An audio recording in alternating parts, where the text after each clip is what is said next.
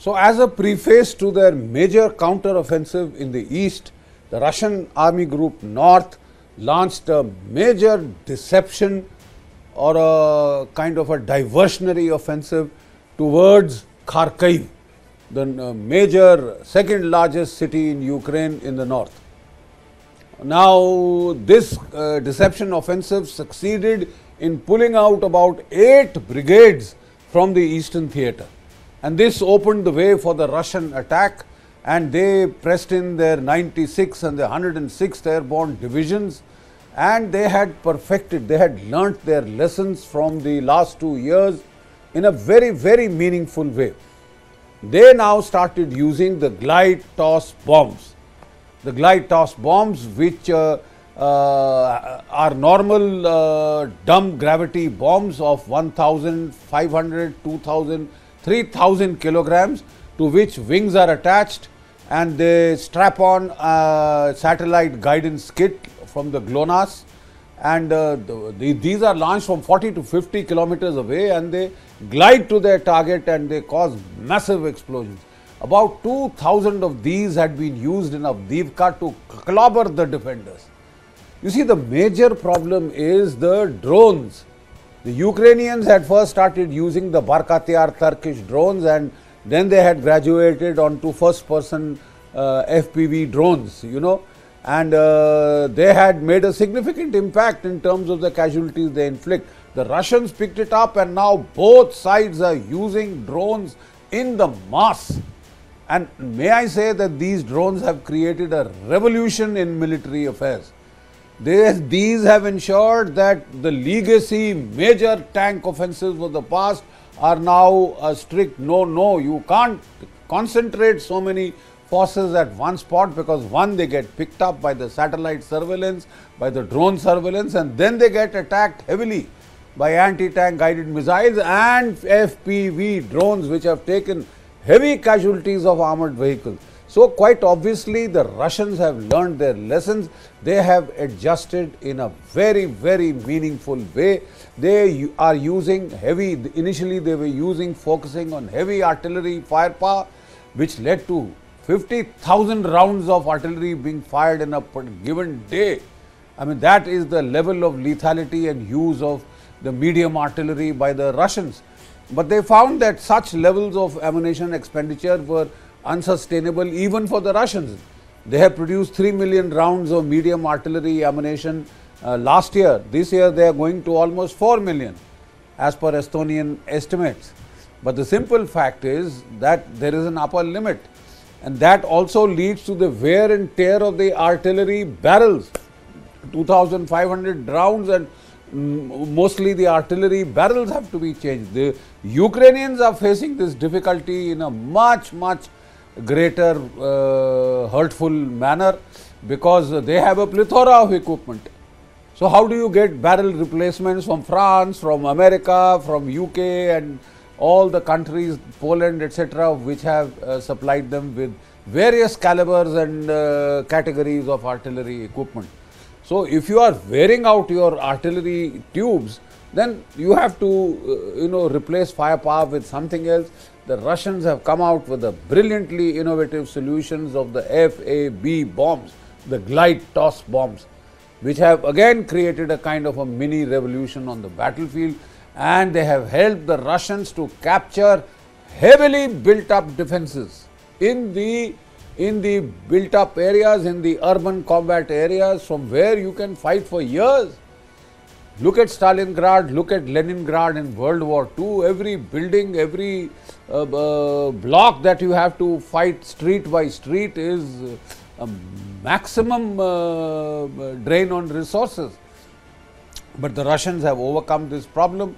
They have captured Avdiivka, they have almost taken Chasiv Yar and now they are heading for the other remaining major towns in the Donetsk province, Kramatorsk, etc., which is the last line of defense that the uh, Ukrainians have. So, as I said, now in the month of September and October, they have been advancing steadily. They are not using tanks so much to advance, they are using their motorcycle borne companies In World War II, they had motorcycle based companies, both the Germans and the Russians. They used to have the motorcycles with the, uh, with the sidecar in which the medium machine guns were kept, the Spandaus were kept, and uh, they were very adept at infiltrating and getting through these very heavily uh, protected environments. These have again become meaningful because of the drones. The drones dominate the battlefield and uh, large tanks, large armored vehicles can't get through. They are they get hit by drones. And now there is a combination of drones and artillery. The drones pick up the target and then the artillery and the drones attack them in combination. So the levels of attrition on the battlefield are becoming unimaginable. The United States uh, commander in Europe, General Christopher Cavoli, he said these levels of attrition are unprecedented. The levels of force usage, the levels of scale and size that we have seen in Ukraine are unprecedented. We haven't seen anything like this before. The last that it was seen was in the closing stages of World War II. So, uh, the face of warfare has been changed with this uh, war. But what it does show is that though the Russians, the three army groups, you know, have started their advance and the army group Zapad, army group Center, army group Yug of the Russians, they've all started advancing, launching coordinated offensive all along the Donbass front, all along the Donbass front from the north to the south. And they are making steady but relentless progress. In the last two months, they have captured about 750 square kilometers of Ukrainian territory, uh, which given the levels of lethality is a very significant level of advance. The point at issue is they are going relentlessly.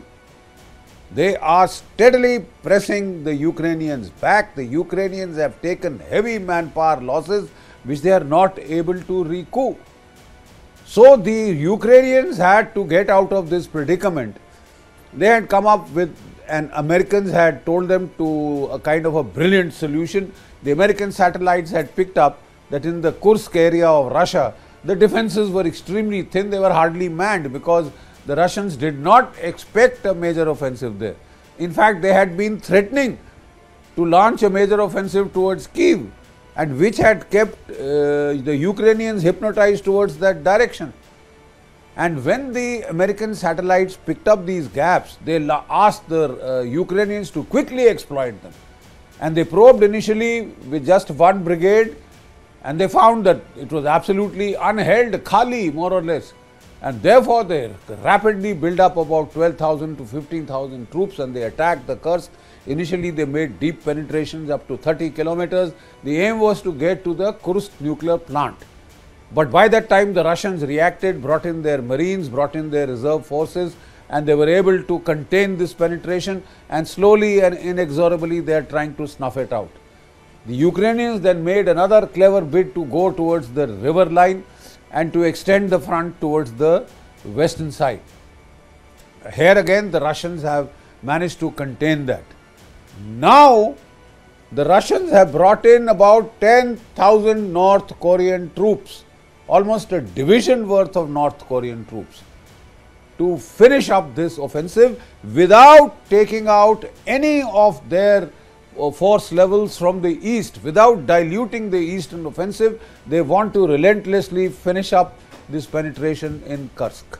But now comes a very serious question why have the Russians been forced to use North Koreans? 10,000. 10,000 which is about a division. Now, quite obviously, uh, you know, all uh, armies which haven't fought for a long time, they want to gain combat experience. World War II, we had seen this happening in Spain. In the Korean conflict itself, the Chinese had intervened with their so-called Chinese volunteer forces.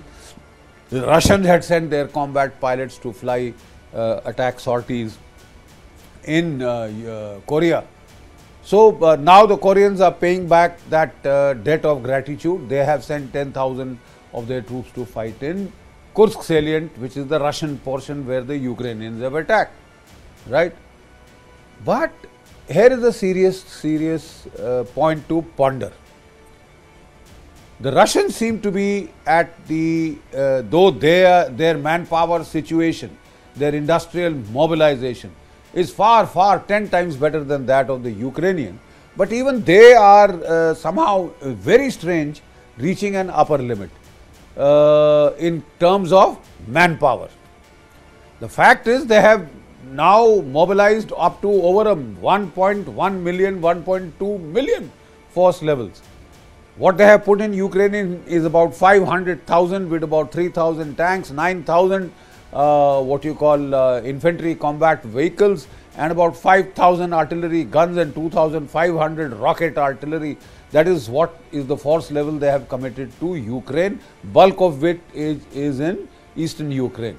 Bulk almost 90% uh, is in eastern Ukraine. They have refused to take out troops to uh, fight the battle in Kursk now they are getting the northern North Koreans so far, it was being speculated that Russia, apart from what it has put in Ukraine, has about 250,000 reserves which they could use to attack Kyiv or to attack Odessa.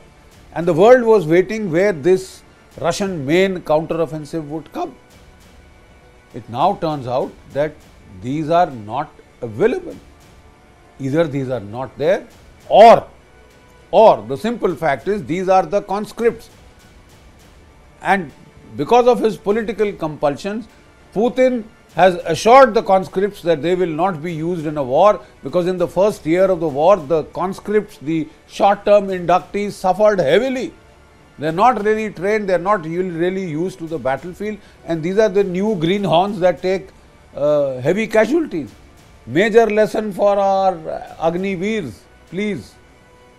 Short term inductees suffer heavily in combat. So you need some experienced soldiers really and now what Russia had decided was to use its volunteers. They use 300,000 reservists, use about 200,000 volunteers to fight but most of them have been committed to the battle in eastern Ukraine where Russia is now pushing to finish the matter, capture all its claimed territories of Russian speaking people and the entire uh, you know industrial complex that is there in eastern Ukraine right. So, this is a bit of a revelation and it just shows how critical, how important manpower is in today's battles of intense attrition. The losses are frightful.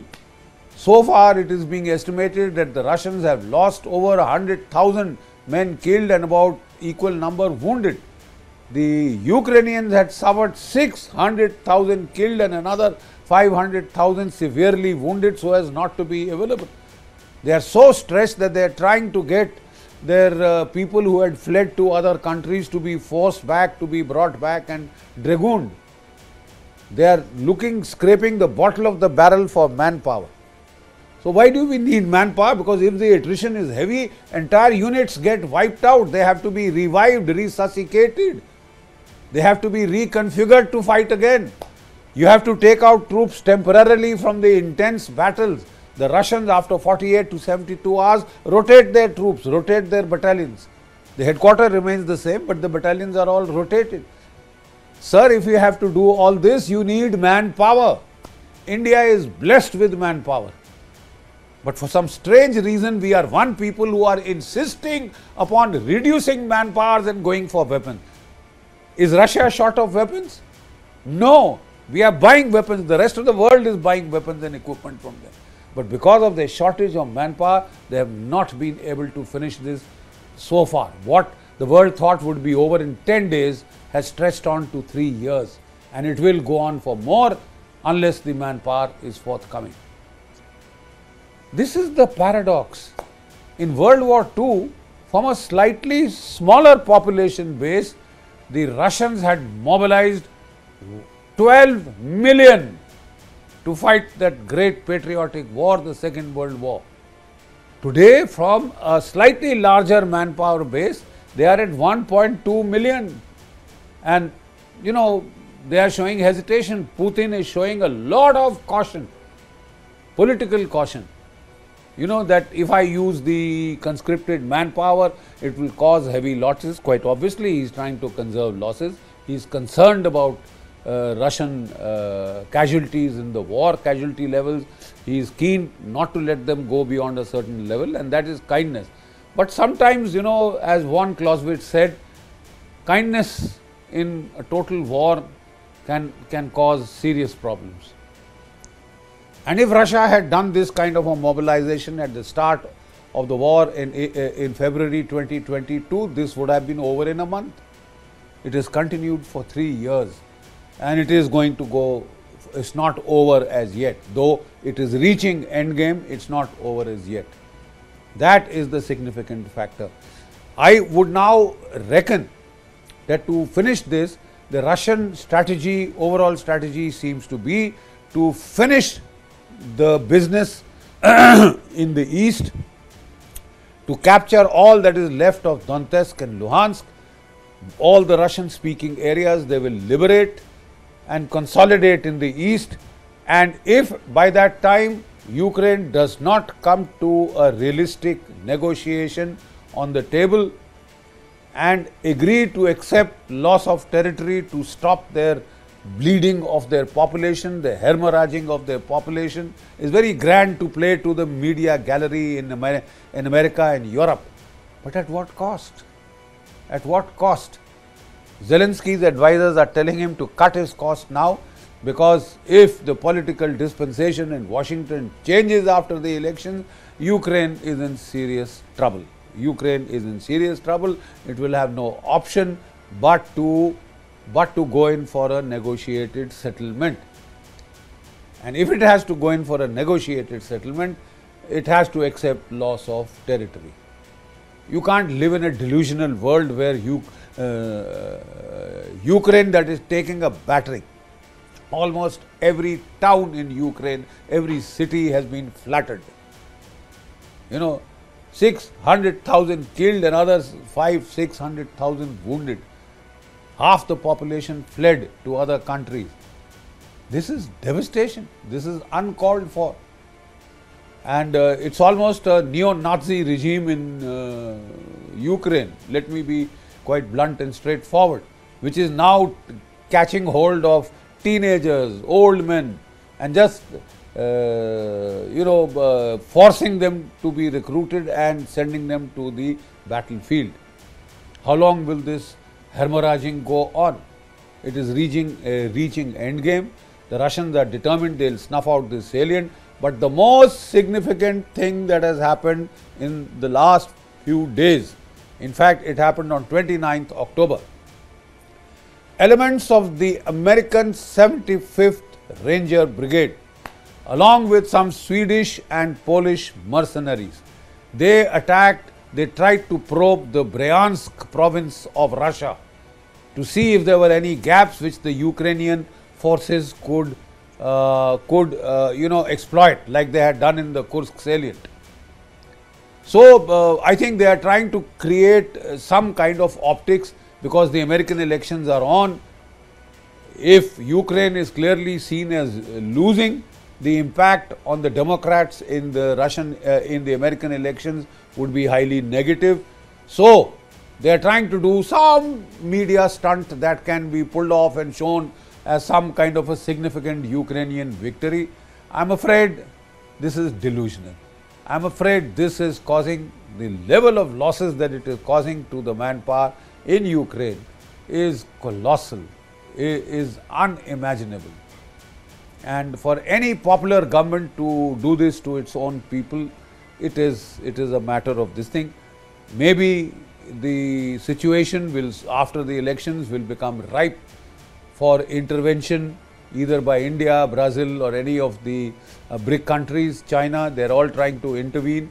India has made significant efforts to uh, mediate and uh, try and have a ceasefire by you know, uh, they have spoken, uh, uh, Prime Minister Modi has met Putin twice, he's met uh, Zelensky in Ukraine and he's trying to work out a peace formula.